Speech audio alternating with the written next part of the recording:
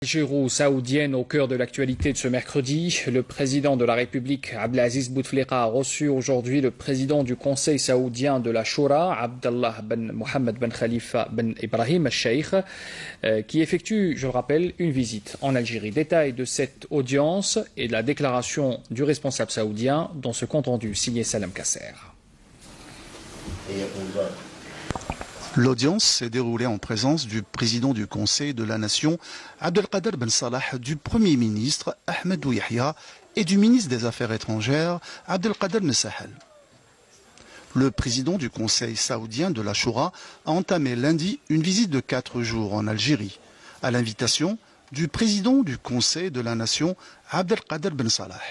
Il a d'ailleurs, pendant sa rencontre avec son Excellence, le président de la République, Abdelaziz Bouteflika, mis en exergue les relations étroites qui existent et qui ont toujours existé entre l'Algérie et l'Arabie saoudite et seront encore beaucoup plus importantes à l'avenir et se développeront dans plusieurs domaines.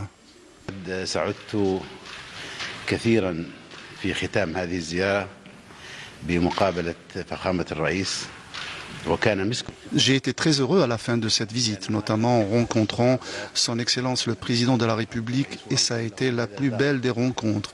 Et j'ai eu à lui résumer ce qui s'est déroulé pendant ma visite et les résultats qui en ont découlé. Et je tiens à lui transmettre les meilleures salutations du serviteur des deux lieux saints de l'islam, que Dieu le préserve. J'ai informé le Président de la République sur les relations de coopération qui existent, qui ont toujours existé auparavant, et que nous allons développer faire fructifier à l'avenir à travers les entretiens et l'aimable invitation du président du Sénat algérien, sans oublier bien sûr les autres rencontres que j'ai eu l'honneur d'avoir avec d'autres responsables du gouvernement. J'ai été chargé par le président de la République, que Dieu le protège, à transmettre les meilleures salutations aux serviteurs des deux lieux saints de l'islam et le prince héritier, et au royaume en particulier. Nous avons abordé avec le président la situation qui prévaut en Arabie saoudite, qui est, Dieu merci, dans une très bonne situation. Et bien les crises qui secouent les pays limitrophes.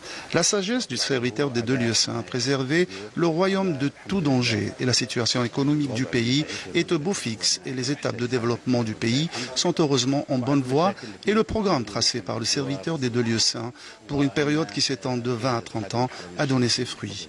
J'ai eu l'honneur de le rencontrer. Et comme je l'ai cité précédemment, il m'a chargé de transmettre mes salutations.